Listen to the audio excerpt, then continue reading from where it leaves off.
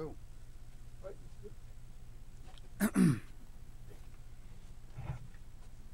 Already? Well, good morning, everyone. My name is Bruce Campbell. I'm the Executive Director of the Canadian Centre for Policy Alternatives. With me is Stephen Staples, who's the uh, President of the Rideau Institute. And uh, this morning we're here to release uh, the report, The Plane That Ate the Canadian Military. Uh, and of course, uh, the report's author, uh, Professor Michael Byers, is also here, and he will speak to it. Michael Byers is the Canada Research Chair in Global Politics and International Law. He's the author of many books and reports, including a report on the F 35s recently uh, published in the Canadian Foreign Policy Journal. This is the latest in a series of military procurement uh, reports that the Rideau Institute and the CCPA have uh, have uh, uh, sponsored, um, and they cover the gamut from Arctic patrol ships uh, to close combat vehicles to submarines and helicopters.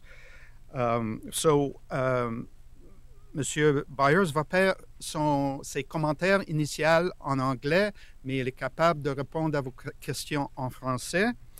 I'm going to hand it over now to Professor Byers.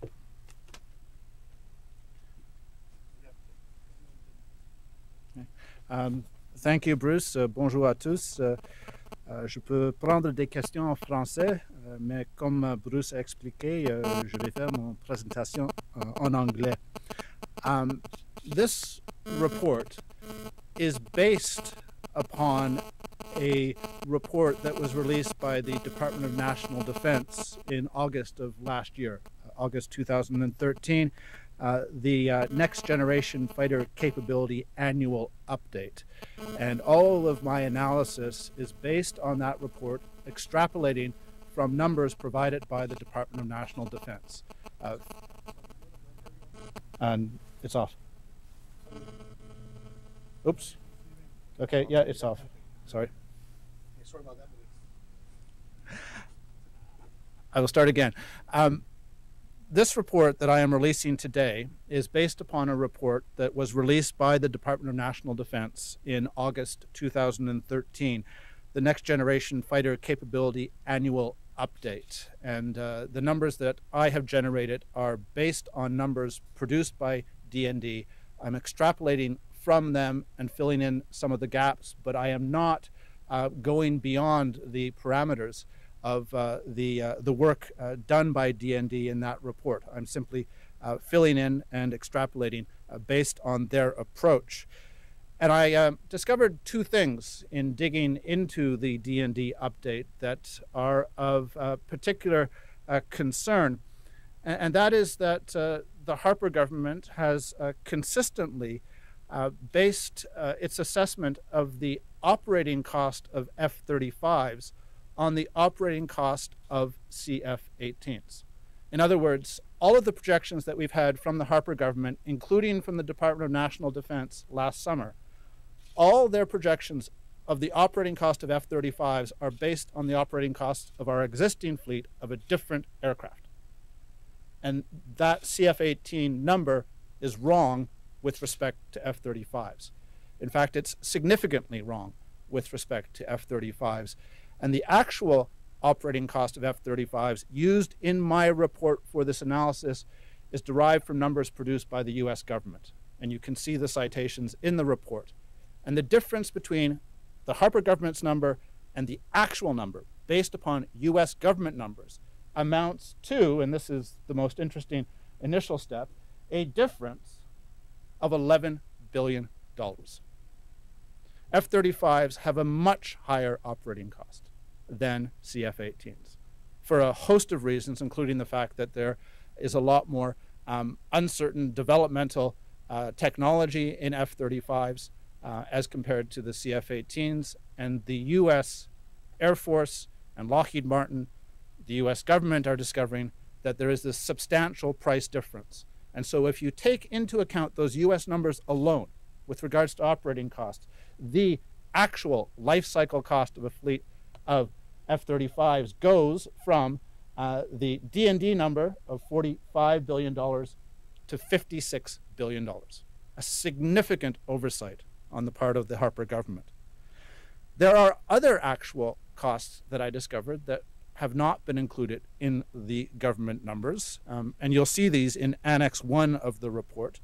Um, the cost of uh, foreseeable um, weapons expenditures to arm the F 35s, add on another $218 million.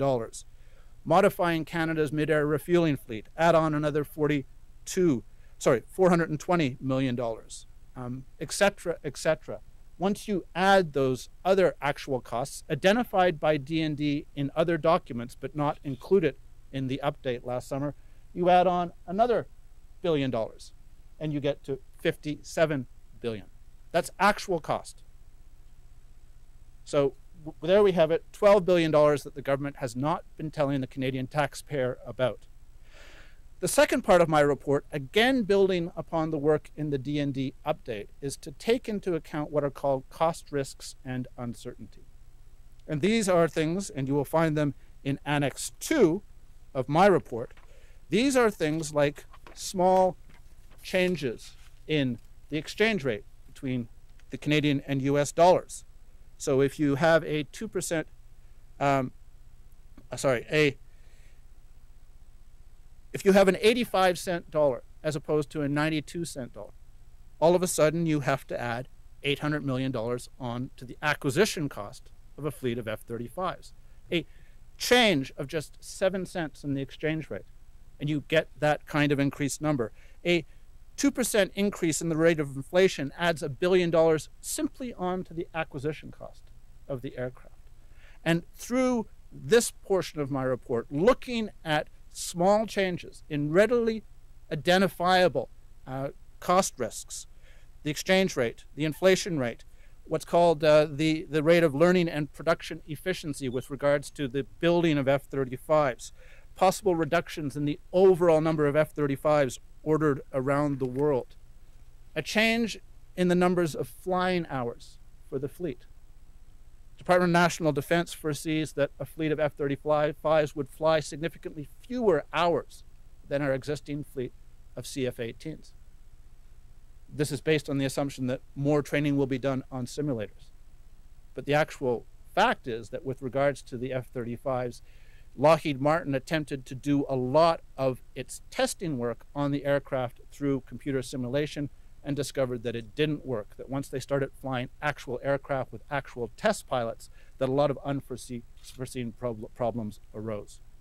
So you add this all up, and under a moderate risk scenario, a moderate risk scenario, an 85 cent dollar, a 2% increase in inflation. Look what happens to the numbers you go up to $90 billion for the life cycle cost of a fleet of F 35s. Change the risk parameters just slightly, just slightly go to uh, a 4% increase in inflation. And, and look what happens. You go up to $126 billion. And again, these are not radical changes in inflation, in exchange rate, in learning and productivity factors, relatively small changes can drive those numbers up to a very significant degree. And compare that 126 billion or even that 90 billion dollars to what the government of Canada, to what the Harper government was telling Canadians just 4 years ago in 2010. 16 billion dollars versus 90 billion or 126 billion dollars. Now this is all even more important because we know that right now a report is sitting on Prime Minister Harper's desk. It's a report produced by the Royal Canadian Air Force in response to a request that he made in 2012 after a damning report from the Auditor General of Canada. He told the Air Force to go back and assess not just the F 35, but to assess the competitor aircraft. And we know that that analysis done by the Royal Canadian Air Force includes an analysis of risk. So I urge you to read my report, to look at these numbers, to realize that my analysis is based upon early work done by DND last summer. There's nothing extraordinary here. This is simple, cautious, full analysis. Look at these numbers and you have an idea as to what is likely in that report sitting on Stephen Harper's desk, the report that he is so far refusing to make public. Why is he refusing it to make public? Well, perhaps because it has numbers like this.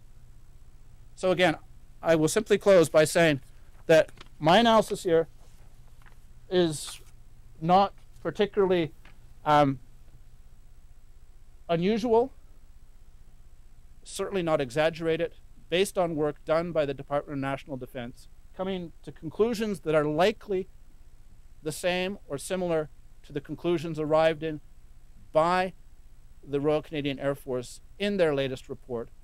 And I call upon Prime Minister Stephen Harper to make the Air Force report public so that that document can be compared with my document so that Canadian taxpayers have a true understanding of the implications of a decision to purchase F 35s.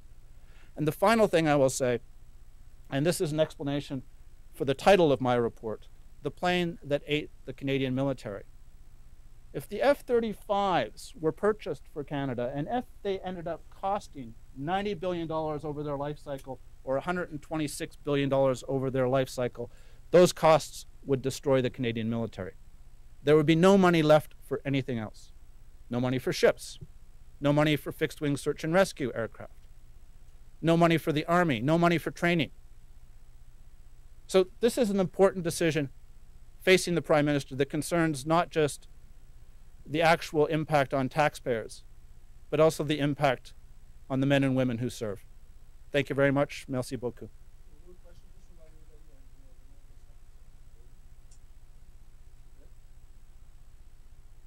Monsieur Byers, peut-être en français, euh, Oui. deux, trois questions euh, assez rapidement. Euh, le gouvernement avait annoncé, comme vous vous en souvenez, cette espèce de reset pour Mhm. calmer le jeu et au nom de la transparence. Est-ce que vous croyez qu'en ce moment, avec ce que vous venez de décrire, c'est vraiment ce qui est en train de se passer ou c'est pas du tout le cas? Est-ce que les Canadiens devraient être inquiets? Alors, je dois dire que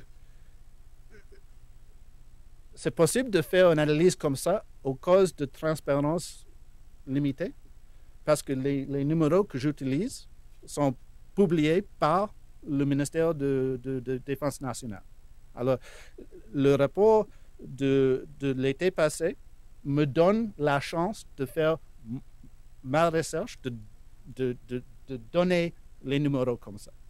Alors, euh, oui, euh, la situation est mieux euh, après la décision euh, euh, de 2012 de, de euh, renouveler euh, le process euh, euh, de- d'analyser euh, les, les choix euh, des avions différents. Ma question, c'est est-ce que les Canadiens devraient être inquiets?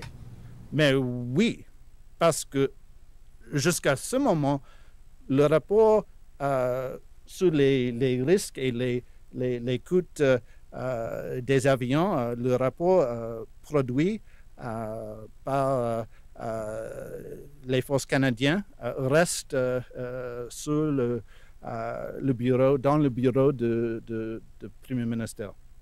Selon les projections que vous faites ici, euh, euh, ça pourrait être désastreux, que ça pourrait détruire, et c'est le mot que vous avez employé, détruire euh, la défense nationale. Pourquoi? Alors, pouvez-vous euh, imaginer? Si vous pouvez vous rapprocher. Oui, oui. Oui, oui. Pouvez-vous imaginer euh, l'effet euh, d'une coûte comme ça, euh, de, de 126 euh, euh, milliards de dollars, euh, arriver euh, un peu par surprise euh, euh, sur le, le gouvernement canadien? Qui va payer pour ça? Bien sûr, le militaire canadien.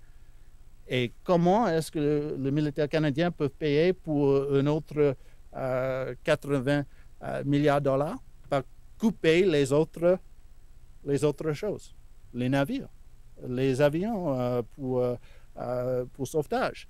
Alors bien sûr, ça va imposer les décisions impossibles sur les forces canadiennes. Et ça, c'est un de mes points.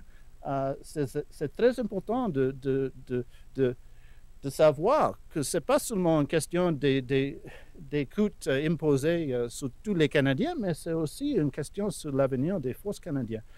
Est-ce que nous voulons des forces canadiennes avec seulement une pièce d'équipement moderne? Ça veut dire les, les F-35. Ou est-ce que nous voulons un militaire canadien avec un grand complément d'équipement différent pour faire toutes les missions différentes Les décisions d'avancer avec les, les F-35, euh, c'est une décision d'avoir des forces canadiennes tellement spécialisées sur une mission, la mission des, des F-35. Japanese, the South Koreans, the Australians now have all announced that they're buying the F-35, and they haven't come up with numbers that are anything close to to your projections. Um, and their media haven't seemed to haven't seemed to be able to uh, uh, dig up anything close to that. Uh, why are your numbers so high and their numbers so low? My numbers are not high compared to numbers in the United States. If you go into uh, for instance, the Government uh, Accountability Office reports on the F 35, you will find that my numbers are entirely consistent with the analysis done by government experts in the United States. Okay, I'm not talking about think tanks, government experts in the GAO coming up with these kinds of numbers. Now, I'm not going to make any apologies for the Australian or the South Korean mili military or media in terms of perhaps not producing numbers this high. What I can say is that the Australian purchase of F 35s is still lower than their original anticipated total of F 35s. They're only buying 72 instead of the 100 originally projected. So when Lockheed Martin puts out the story that, yes, Australia is carrying this project forward, well, there's another side to that story. Australia is purchasing less F 35s than it had originally planned to do. And you can look at this in different ways. And the point to take home out of this is that there still remains enormous uncertainty. We don't know how many F 35s will be ordered in the end, and as a result, we do not know what the per plane cost will be. We do not know when the development phase will end, or if it will end, because there are still major developmental problems, particularly with regards to software code. So we don't know when the um, the cost will be reduced as a result of getting to the, the end of that developmental phase. So we do not know what the planes will actually cost we need to plan for these uncertainties. So for instance, when I look at the DND update, and I find that the only contingency plan with regards to acquisition price is to buy fewer planes.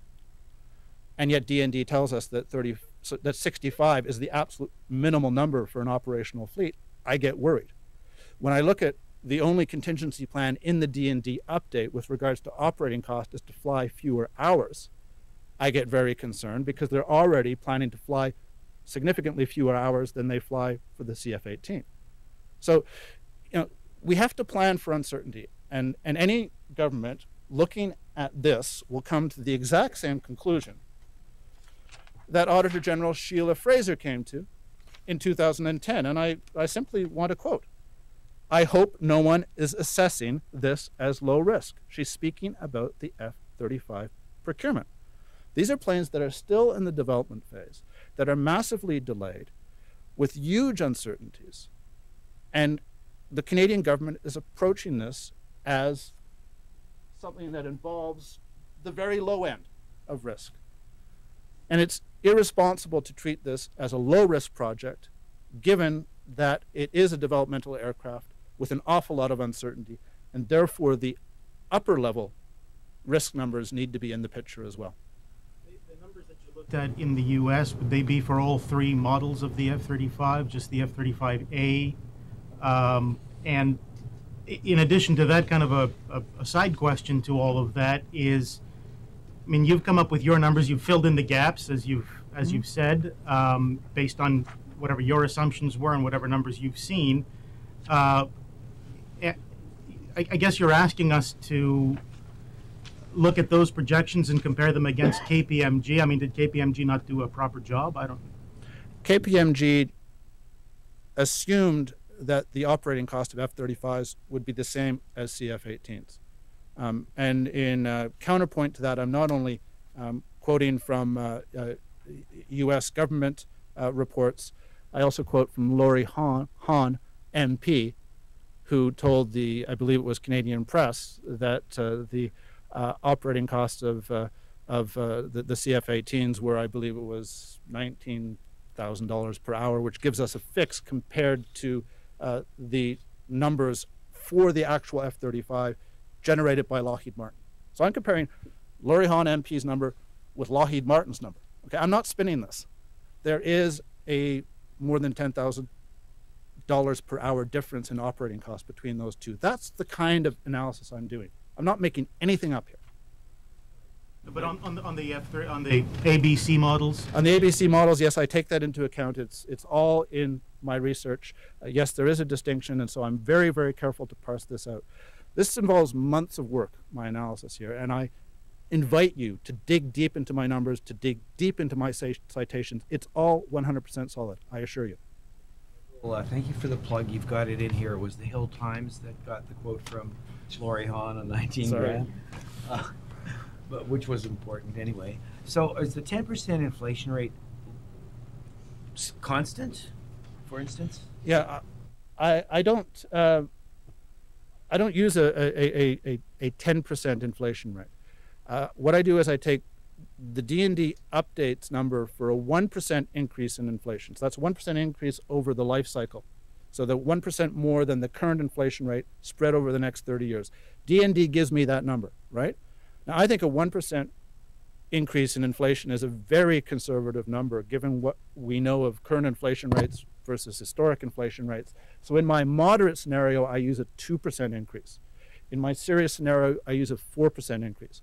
Okay, but that still only takes us up to about 6% inflation, right? Uh, and, and I, you know, I'm old enough to remember 10% plus inflation rates.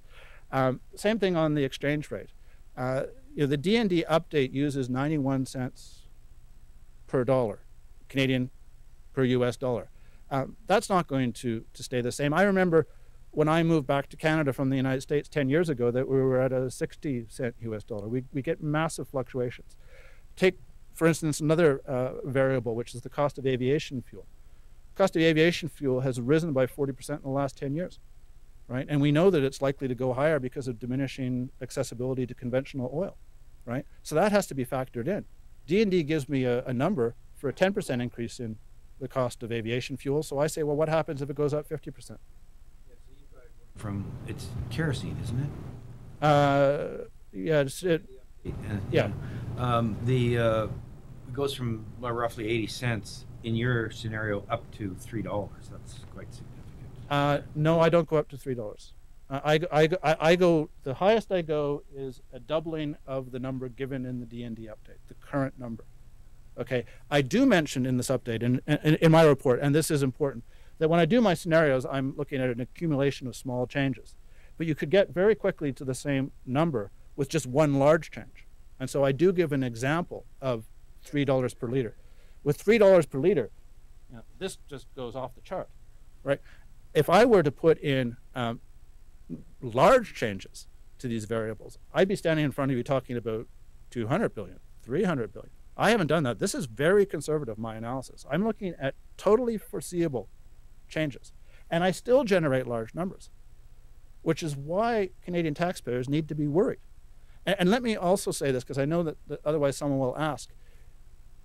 I have not done the same analysis with regards to the competitor aircraft. I don't have the kind of, of resources uh, and staff that the Department of National Defense does. But I am pretty confident that the numbers would be smaller for a couple of reasons. One is that we already know that the F 35 has unusually high operating and sustainment costs, okay, compared to the other aircraft. But more importantly, the F 35 is still in the developmental phase. It's still not a finished aircraft, and that increases the risk even more. So I would hope that the report that is sitting on the Prime Minister's desk from the Royal Canadian Air Force does this kind of analysis with regards to all the alternative aircraft so that we get the full final numbers for comparison reasons. That's what I hope is there. I've just done the F 35 because I only had the numbers for the F 35 because that is the only thing that was in the DND update.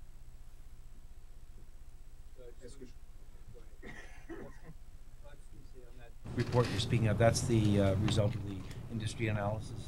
Yeah, the, the, the, the options analysis Yeah, it's called the options analysis. It's done by the National uh, uh, Next Generation Fighter uh, uh, uh, Capability.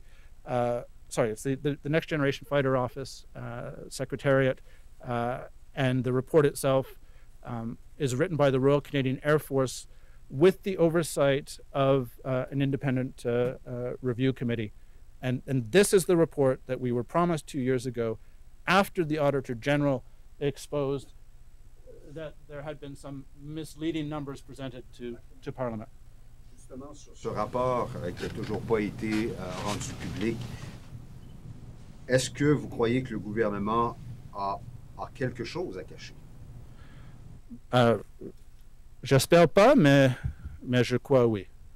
Euh, parce que euh, les, les numéros sont, sont, assez, sont assez larges.